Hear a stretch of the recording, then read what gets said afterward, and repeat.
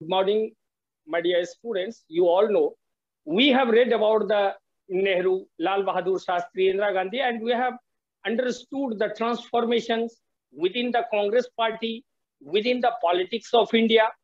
But Indira Gandhi, during the time of Indira Gandhi, who suffered a lot because before that, it, this period was known as a dangerous decade, as like you have read, many problems were there uh, with the government, with the people, with the country. And so now we will discuss here, we'll have a seminar on which, on this topic, Indira Gandhi, Indian politics, people, and whatever the changes were. So now here the two students will just conduct this organized seminar. First will Antima Kumari and second will be given by Drishti. So I am going to give you the chance to Antima with best of luck, do your best and give the broad concept regarding the Indira Gandhi and their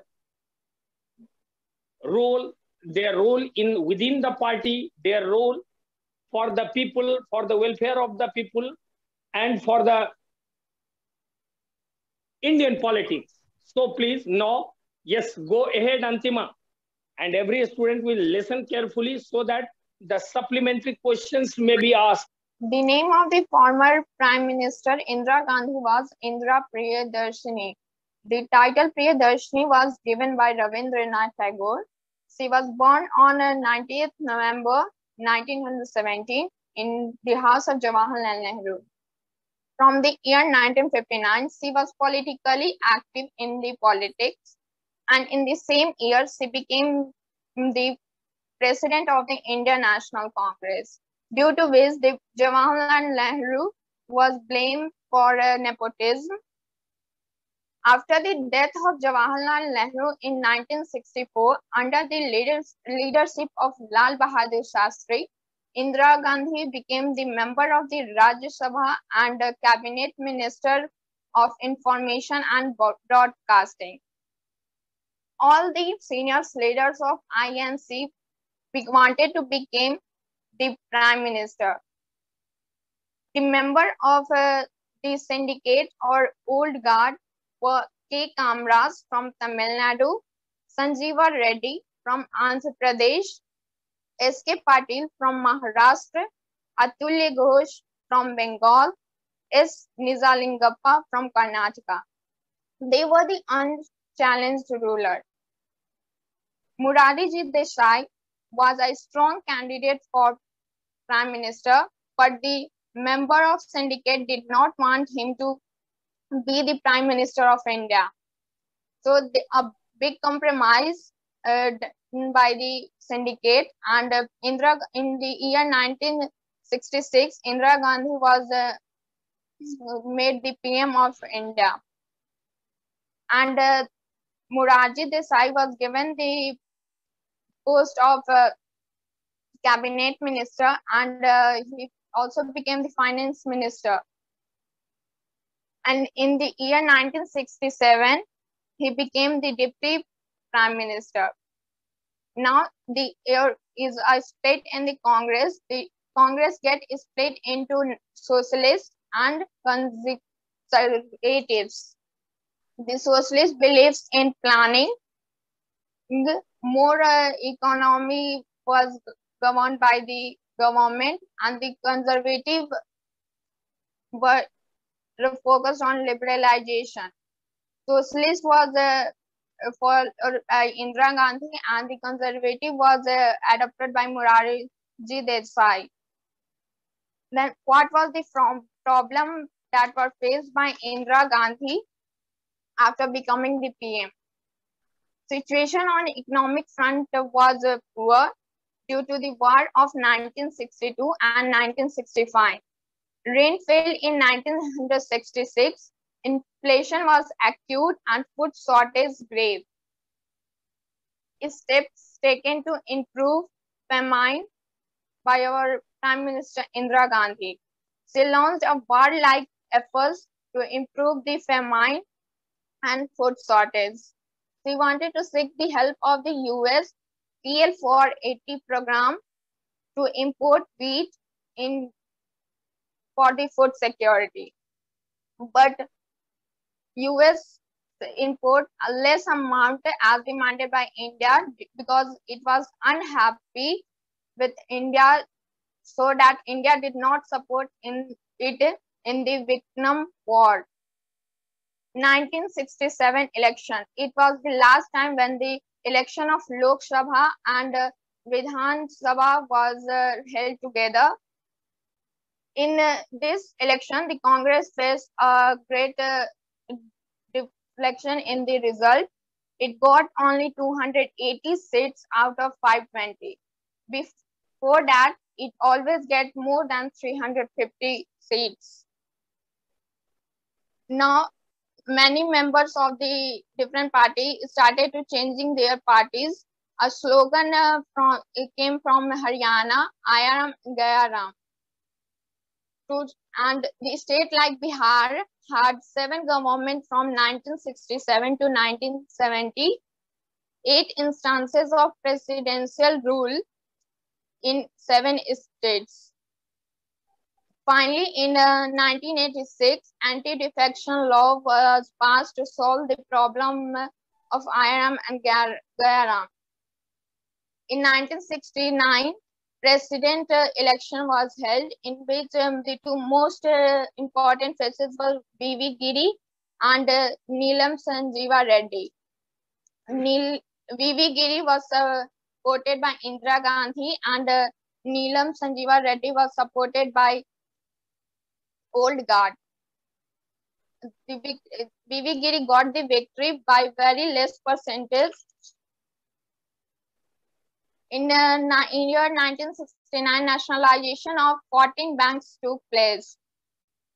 The 14 largest commercial bank with effect from the midnight of 19th July 1969. These banks contain 85% of uh, banks deposit in the country. Before four days, Indira Gandhi removed uh, the Morarji Desai from the post of finance minister and uh, Morarji Desai left the party of Congress. She also launched 10-point program which is related to faster development of land reforms. Urban land will have ceilings. But the syndicates want uh, that government should be accountable to party and uh, whatever uh, law is uh, passed, we also must be participated in it. Not only one person take the decisions. So for on 12 November 1969, for violating the party discipline, former Congress President Lin Nijalingappa removed PM Indira Gandhi from Congress. Indira Gandhi formed uh, her own party, Congress R or Congress Indira.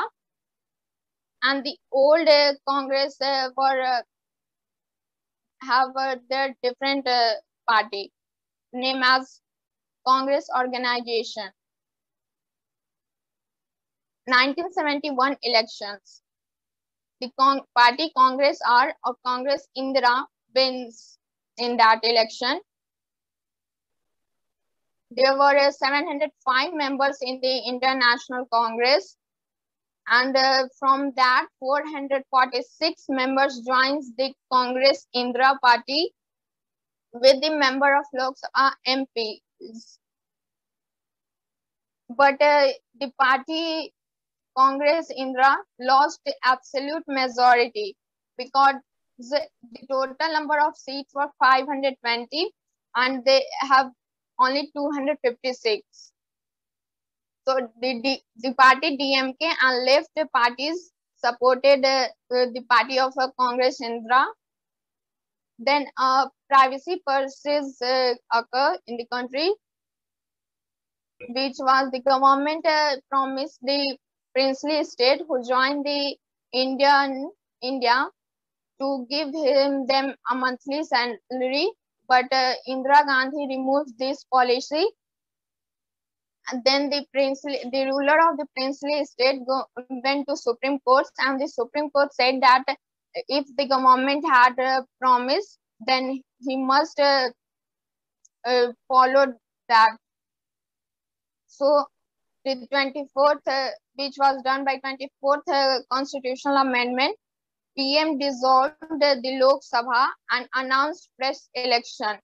The election was uh, going to held in 1972, but it held in 1971. Thank you. Now, Drishti will go, going to continue, sir. Okay. Thank, you, Antima. Uh, yes. Good morning, wait, sir, wait, and thank you for giving us this. Okay. okay so thank you for ahead. giving us this opportunity. So I will be continuing where the where Antima left about the election of 1971. It was the landslide victory for Congress in this general election. Uh, not because of the charismatic personality of the Indira Gandhi, which not only attracted their old members, but also attracted uh, new youth politicians. Uh, in the, uh, uh, the Congress, the Indira Congress was opposed by the alliance of Janta, of Janta Party with with Samyukta Socialist Party, Praja Socialist Party, Swatantra Party, and Bharatiya Jan Sangh. In the national, the Congress of Indira got a total of 352 seats, whereas the uh, opposition got only 51 seats. It was a landslide victory for Indira Gandhi. At that time, the economic growth was mostly more than 3%, which was quite higher than the last election in the 1967. But the, it was not uh, up to the mark of the uh, predictable growth rate of the uh, fourth five-year plan. Although Green Revolution was launched by her, and it made India food uh, food self-sufficient in uh, in of in India, but it also didn't uh, make the unemployment rate lower or the hunger or the problem of food shortage. It only benefited the uh, mostly the Punjab and Haryana and Western UP. The other problem which arose in the year 1971 was the problem of Eastern Pakistan, where the people were kind of genocide by the Western Pakistan armies and government even the politicians of Eastern Pakistan were not given much of importance in the parliament of the Western Pakistan. As a result of which, uh, more than 10 lakh refugees uh, uh, came to India. This presented a, a, matter of major concern for India and especially for Indira Gandhi. For this, she gave two, uh, two ideas to be implemented. First, she said uh, the army a clear-cut indication to prepare for the war. And second, she tried to pressurize Pakistan internationally. For this, she went to USA to talk the, the issue of Eastern Pakistan with uh, the, then the President Richard Nixon. But USA at that time was a supporter of Pakistan and was looking for a friend uh, in Pakistan in the Southeast Asia. They called a, uh, they gave a cold reply, and for uh, in response of which Indira Gandhi went in a treaty of uh, friendship and cooperation with USSR on 9th of August 1971. On 3rd of December 1971, Pakistan Air Force dropped, uh, uh, bombarded the Indian air stations of uh, uh Amritsar, Pathankot, Srinagar, Ambala, and Jodhpur.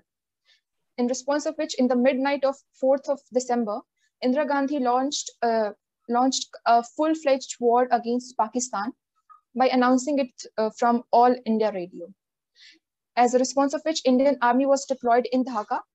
Indian Air Force started bombarding the Western Pakistan Army, whereas an Operation uh, Trident was launched on 4th of December, in which the Indian Navy destroyed the uh, Karachi ports of uh, Pakistan. On 5th of uh, December, the Pakistani Navy port were destroyed. After seeing such a uh, continuous uh, losses of Pakistan in the war, the US, the US President Richard Nixon sent their uh, Task Force 74, uh, led by the USS Enterprise, to help Pakistan and counter the India. But with the help of Indira's, uh, Indira Gandhi's treaty with USSR, USS, USSR uh, already had sent uh, the two cruise, the two cruises with missiles and destroyer on 3rd and on 6th and 13th of December. As, as a result, the USA uh, back, uh, back, back to their place and they refrain from attacking on India. This, uh, and on 16th of December, the more than 90,000 Pakistani soldiers surrendered to India and a new uh, independent state, Bangladesh, was created. This, uh, the Indira, Gandhi, Indira Gandhi's uh, uh, policy regarding this uh, matter gave her a international prestige and praise. It not only not only liberate, stripped more than half of the population of Pakistan, but also uh, but also presented India as a politically and militarily uh, military dominant uh, state in the subcontinent. The other uh, major uh, uh, step which was taken by Indira Gandhi was the Pokhran nuclear test in 1974. On, on 18th May 1974, a nuclear test naming Smiling Buddha was conducted in Pokhran, Rajasthan. It was India stated it as a peaceful nuclear explosive it was only for peace and for uh, generating the sovereignty of India to its highest. It, it, it also became a matter of great importance because only the P5 countries of the UN uh, had the nuclear power, but India became the first country out of this P5 nations to hold the nuclear power. But soon the golden image of Indira Gandhi began to tarnish because the year 1974 uh, uh, came to be known as a great turmoil in the domestic regions of India. The first can be felt in the Gujarat Navnirman Andolan. It was a socio-political movement started in December 1973. It was it, it sought reinvention and renovations by the student and the middle class people against the economic crisis and corruption. Morarji Desai, the leader of the opposition, sat on an indefinite fast in response of which the Indira Gandhi sent army to Gujarat to suppress this uh, protest. But it uh, in but in in uh, response it got it got uh, more violent and the uh, the opposition asked for the for from Indira to dismiss the state cabinet, which she did, and a fresh election was conducted in 1974 75 in which Congress lost and Janta Morcha party came in power. The second most turmoil can be seen in Bihar, where the student protest led by Bihar Chhatra Sangharsh Samiti uh, for better education and uh, food in the hostel got quite um, uh, support from the uh, magnificent leader Jayaprakash Narayan. It was also known as the JP Andolan. JP uh, Jay, Jayaprakash Narayan gave the slogan for Sampoorn Kranti. He sought that even after the independence of India uh, of 27 years, there are many people who are not able to access their rights. And uh, there, there are many people who are dying out of hunger due to food shortage and economy is also not rising. He sought to bring the youth for uh, social transformation in the country. The third turmoil which occurred during 1974 was the railway workers strike started on 8th of May. It was the one of the biggest railway strike ever done in India. More than 13 to 14 lakh uh, employees of railway went on strike. Their, their demand was against the low wages, the harsh working conditions, and the long hours of work. But in response of which, Indira Gandhi brutally suppressed the, this protest. And the fourth and the most, it can be a most unofficial reason for imposing emergency was the Raj Narayan versus State of UP government verdict. On 12th of June 1975, Allahabad High Court gave the verdict against the Indira Gandhi in the case of uh, in the in the case of Raj Narayan versus State of UP, in which she was found guilty of malpractices during the general election of 1971. In result of which she was found guilty and her like her seat was uh, uh, declared null and void, and she uh, and she lost, and a ban was imposed for imposed for six years on her for from contesting any election. She challenged this uh, verdict in the Supreme Court, but Supreme Court upheld the judgment of High Court and allowed her to be as a prime minister, but without any privileges. On 25th of June 1975, Jayaprakash Narayan organized a big rally in Delhi and asked the police officers to not follow the immoral orders given by the government. It kind of gave a great tension in the uh, Indira Gandhi of losing her seat and losing her herself as a prime minister.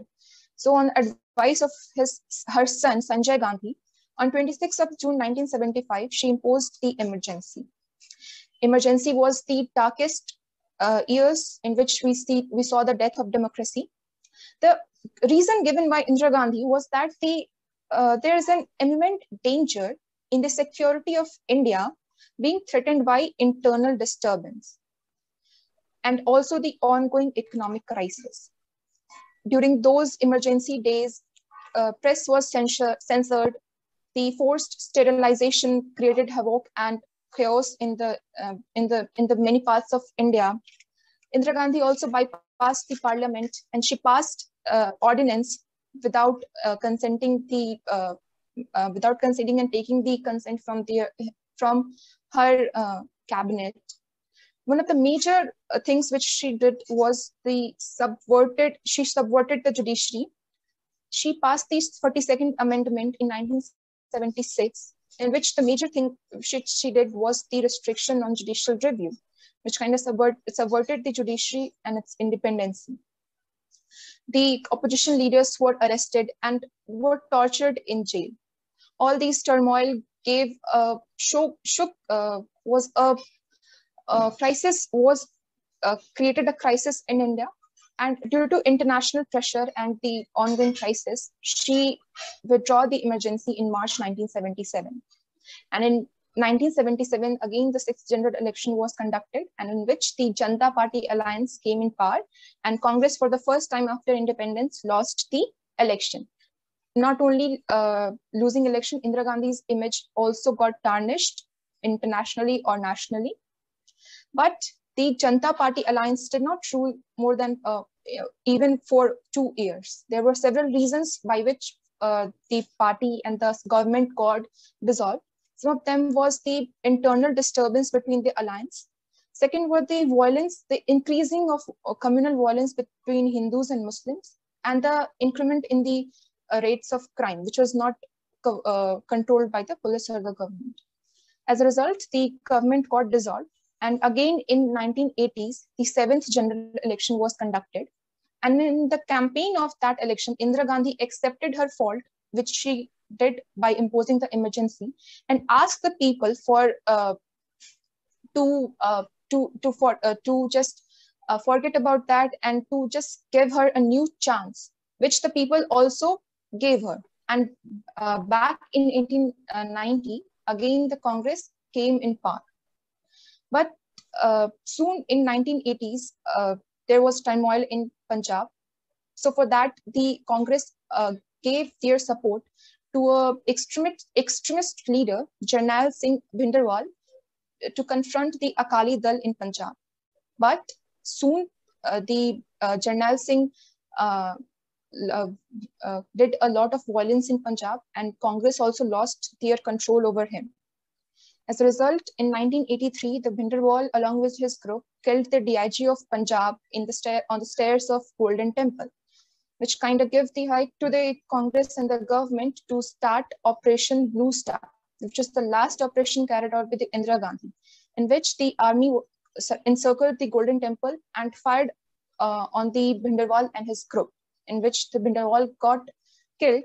But along with that, the Akal Takht of the Golden Temple got destroyed, due to which the Sikh community all around the world got furious and angered, and they kind of state, uh, started hating Indira Gandhi for her uh, this decision. As a result, on 31st of October 1984, she was assassinated by her two Sikh bodyguards. Talking about her economic economy during her uh, reign, the, she nationalized 14 banks, but she also nationalized insurance sector and coal sector. She banished private capital and enterprise. In 1973, her government enacted the Monopolies and Restrictive Trade Practices Act, which crippled the private sector. She also gave the draconian law to the private sector in 1973, the Foreign Exchange Violation Act, which barred the Indian citizen from holding any kind of foreign currency. As a result, corruption bloomed and the uh, private sector was zoomed. She encouraged uh, foreign investment in automobiles and consumer electronics during 1982 and 1983. But soon in 1982, our government completely deregulated the cement industry. As a result, cement got disappeared and production of cement got zoomed and actual market price of uh, cement was dropped. So that's that's very good, uh, Drishti. Really a broad explanation, and really you have given everything that occurred in India, whether the economically, politically, militarily, that all things uh, has been presented by you in a nice way. Really, it's a very, very, and there are certain points where myself has uh, just learned this, and uh, just uh, so the thanks, you deserve thanks. and later now, I would like to just ask, it will be started, uh, who will ask the first questions? Please ask the first questions, a very relevant Pleasant. questions, very good Anubhuti. Le- Give the Very chance to pleasant. Anubhuti. Okay. Anubhuti. Sir, actually, Sana cannot mu- uh, unmute herself, so I'm asking on her behalf the first question. Oh. Uh, from Drishti, how would you like to compare and contrast the authoritarian leadership of Indira Gandhi and Narendra Modi? This was my question. Thank you, Sona. So talking about the authoritarian uh, leadership of Indira Gandhi, she was quite stubborn and uh, from starting all only she was not listening to her own um, ministers of the party. Whereas Prime Minister Modi has consolidated his party to quite well. But this consolidation policy was not carried out well by Indira Gandhi, which we can see that later the party got separated into two groups. The uh, the authoritarian policy of Indira Gandhi actually got a very uh, negative and drawback for her because of her authoritarian and repressive policies, which we can see during 1975 and 74, in which she repressed and um, repressed various protests brutally by the help of army. Whereas Narendra Modi has consolidated his party and has limited the authoritarian over the protest and the people of India Indira Gandhi has for, uh, had forgot about the uh, principles of democracy during her reign, about the uh, freedom that uh, the constitution has given to the people for protest and the uh, internal. De- It is not quite visible and uh, very um, conflicting in the in recent time for Narendra Modi. So her authoritarian was uh, a drawback, and it decreased her image in the uh, in the national politics. Um, but here in uh, Narendra Modi, he has quite consolidated the party and quite restricted her authoritarian view. Really good answer. Very, Sana, you should accept it because the answer is uh, clearly comparison here. Really, this was the major thing. However, there are many things for the uh, criticizing for criticizing the Narendra Modi also. If I'll give the chance to Sana, she will ask many supplementary questions. But as you know, I don't have much time. Asneha is waiting for the another one. I am giving the chance to. Yes, Asneha, please. Good morning, sir. So my question is from Antima. Is that was the policy of abolishing the privy purse was just a uh, is for uh, welfare of the people or just a step changing her political image in the politics in order to dominate? Good question. Can you good repeat the question, please?